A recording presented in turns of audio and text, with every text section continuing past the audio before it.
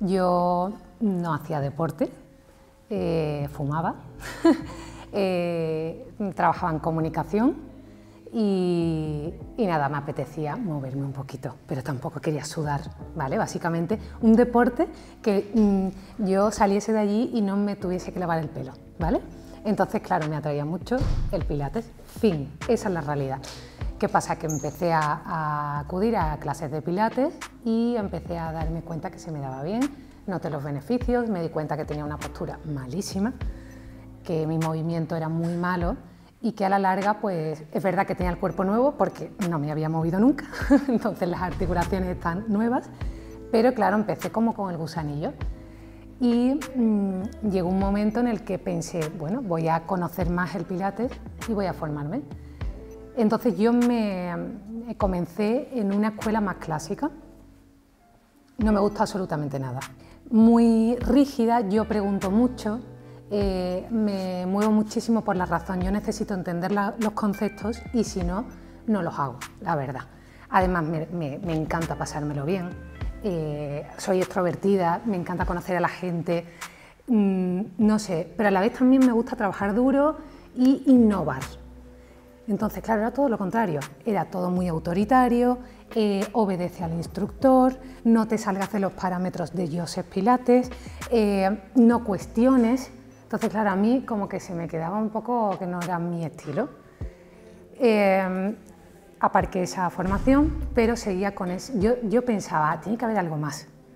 Y además tengo ese punto de eh, investigación periodística, entonces me apetecía mucho investigar, eh, poder yo libremente seguir indagando en el movimiento.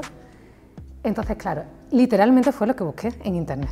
A ver, un Pilates en el que sea más experimental, más innovador, tiene que haber algo. Y entonces llegué a la escuela de movimiento. Si yo quería formarme en Pilates, yo tengo que vivir de algo. Entonces yo me formé trabajando a la vez.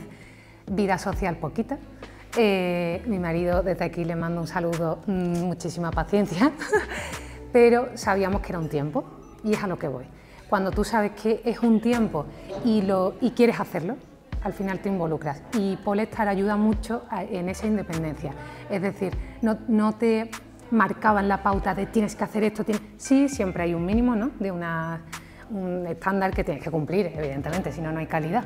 Pero te daban mucha libertad en el sentido de, a ver, aquí es un curso de adultos, organízate como tú quieras, siempre que lo saques aprendas y, eso a mí me encantó de Polestar, me encantó. Porque es ese combo perfecto entre te enseñan muy bien, pero con la flexibilidad de tú marcas el ritmo, tú te organizas.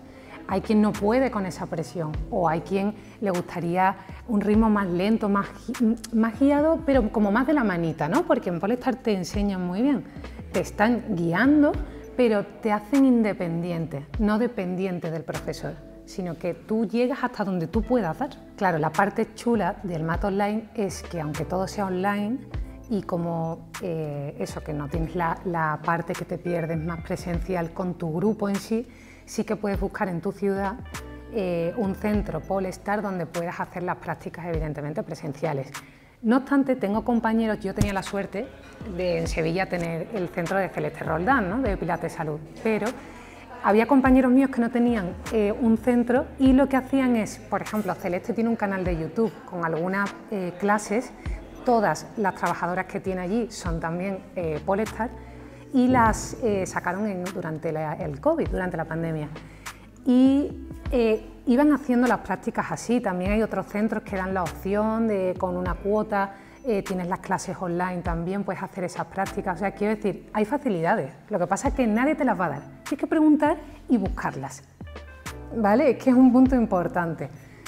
Y, sí, esa parte aprendes muchísimo y en mi opinión es fundamental. Yo acabé el MAT online intensivo eh, de verano, es decir, durante mis vacaciones, y ahora o sea, acabé tan, tan contenta y aprendí tanto que me he lanzado al integral de otoño. Em, yo noto que necesito, conforme voy aprendiendo más del movimiento, eh, cada vez tengo más ganas de profundizar, siento que comprendo mucho más todo, pero a la vez noto que no sé nada. Es difícil de explicar, pero es una sensación chula. Y además eh, no había acabado prácticamente el MAT online y ya me contrataron en un centro de, Pilates.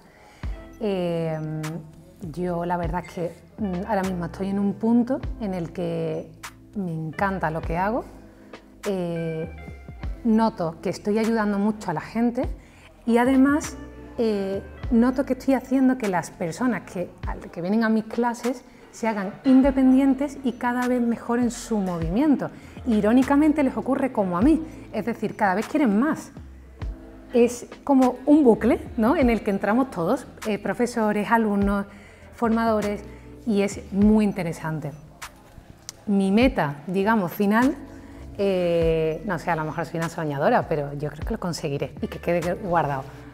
Yo quiero evolucionar el método, quiero hacer una investigación profunda e intentar, pues no sé, todo lo contrario de lo que me dijeron en la formación clásica, ¿no? De, no, este es el, el mm, modelo de mm, Pilates, tal, no se puede mover. Yo creo que podemos mejorarlo y yo creo que de la mano de Polestar lo puedo conseguir.